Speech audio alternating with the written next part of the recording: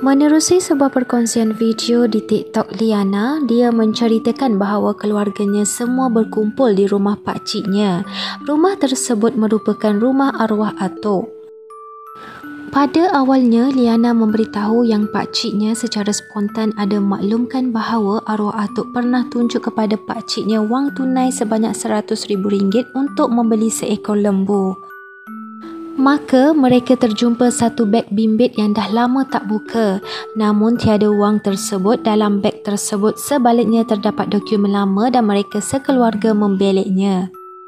Jadi, salah satu dokumen yang ditemui adalah surat beranak salah seorang makcik Liana yang digelarkan Mak Teh. Amat melucukan apabila nama Mak Teh yang selama ini diingatkan sebagai hadiah rupa-rupanya Hafidah.